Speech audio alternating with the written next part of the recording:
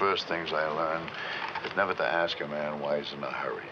All you got to know is I told a man that he could depend on me because you told me I could depend on you. Now, one of us is going to have a big fat problem.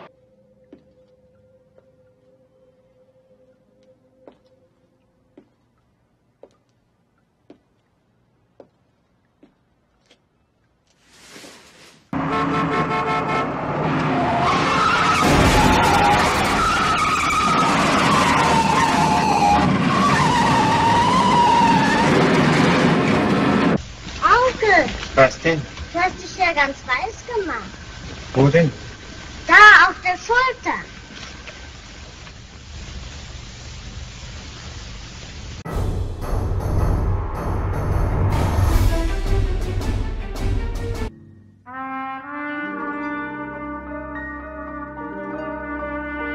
All right, lawman.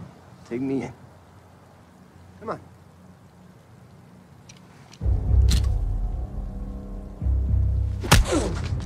There are jobs aplenty, and land is cheap.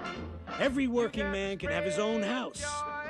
LA Confidential is a mid 90s Oscar winner And we did a piece last year on New Dykes in Hollywood. about America's first successful male to female reassignment surgery. Meet Ed Exley, an award winning police officer who has a secret. His able body may appear impeachable, but for Ed, it is a prison of torment. His whole life, he knew that he was somehow different from the other boys. Only later, after a near death incident involving a former lover, Ed realizes his destiny. Snip the rod and spoil the child. Have a surgeon build him a vagina. Despite his peers' endless taunts and bullying, Ed has to decide cave to the Los Angeles cultural elite, or reach out for the happiness that has always dwelled within him. 1997's LA Confidential is a pretty good movie, meaning at the very least you'll be entertained for a couple hours. Set in the 1850s, we follow three investigators Edmund Exley, Bud White, and, oh boy, Jack Vincennes.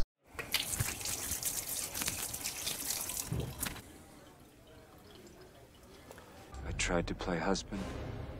I tried to taste the life of a simple man.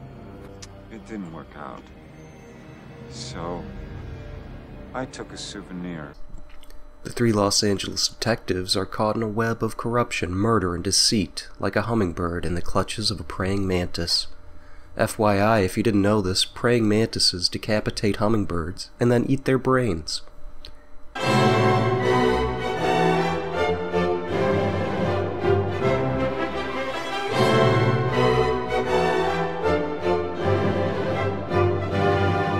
In standard noir fashion, the what, whys, and whos are doled out like samples at a Sam's Club, each more devious and dastardly than the last.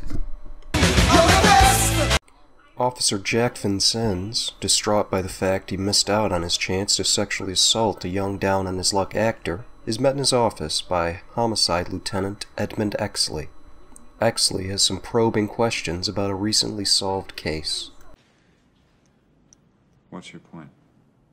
Rollo Tomasi's the reason I became a cop.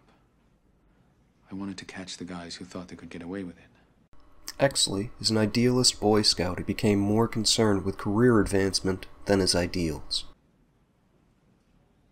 It was supposed to be about justice.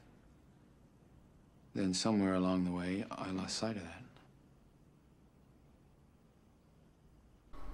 Notice that when Exley says, somewhere along the way I lost sight of that, the camera is on him for his entire speech except this part. The camera is focused squarely on Jack. After the death he may have had a hand in, Jack is feeling the same way. Why'd you become a cop?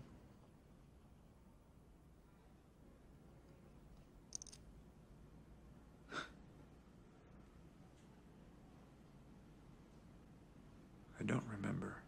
Did you notice how long he pauses? He is sincerely trying to remember why he became a cop, and the best answer he can find is I don't remember.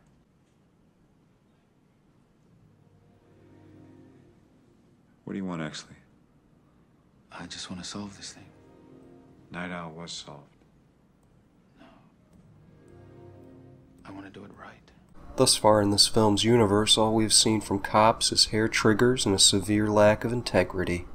Whatever it takes to get a check in that W column.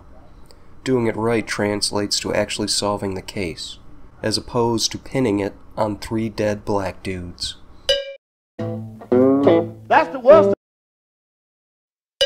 Two central issues come to mind when thinking of the worst this film has to offer. One, a noir and, in general, film faux pas. Show don't tell. To the best of my memory, at least two times either Exley or White just spilled the beans with regards to the whole criminal operation. Spoilers. I checked the and and go way back.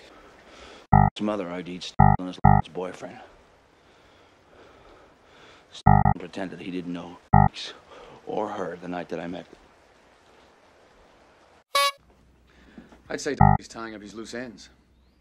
Ratchet's dead. He sent you after me.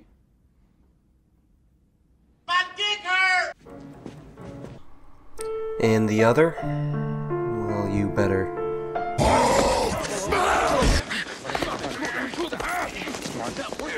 He was so angry he didn't understand the compromises you gotta go through building a lasting relationship. He don't like throw a car at a woman. I'm the incredible plum.